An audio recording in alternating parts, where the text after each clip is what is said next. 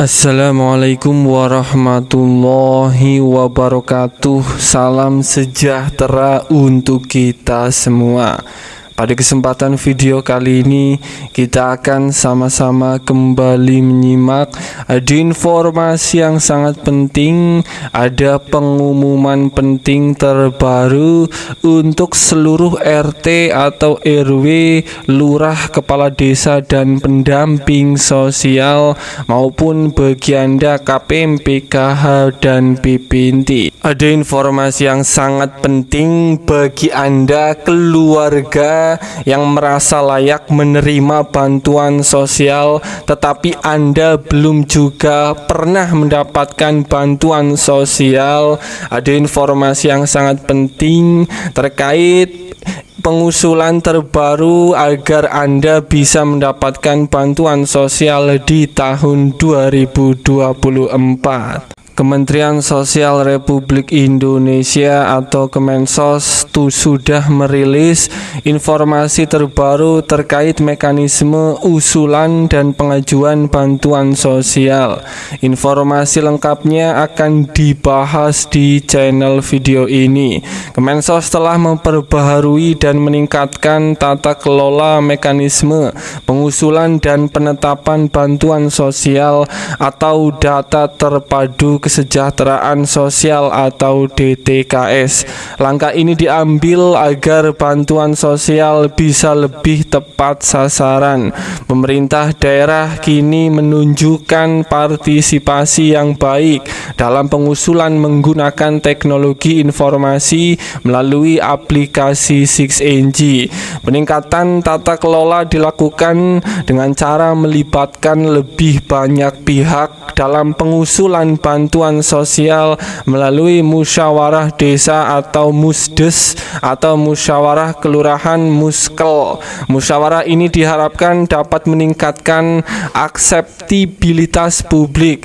Musyawarah minimal dilakukan satu kali setiap tiga bulan dengan mengunggah berita acara, dokumentasi, publikasi, dan daftar hadir musdes atau muskel. Jika musyawarah tidak dilaksanakan kepala desa atau lurah dapat menyampaikan usulan dengan menggunakan surat pernyataan tanggung jawab mutlak. Langkah-langkah pengusulan bantuan sosial yang pertama ini pengusulan dari desa atau kelurahan. Pengusulan bantuan sosial dimulai dari tingkat desa atau kelurahan. Yang kedua melakukan rapat musyawarah ini melibatkan banyak pihak dalam rapat musyawarah untuk meningkatkan keabsahan dan akseptabilitas. Kemudian yang ketiga ini verifikasi dan validasi usulan bantuan sosial penerima calon penerima bantuan baru, usulan yang diajukan akan diverifikasi dan divalidasi oleh pihak berwenang.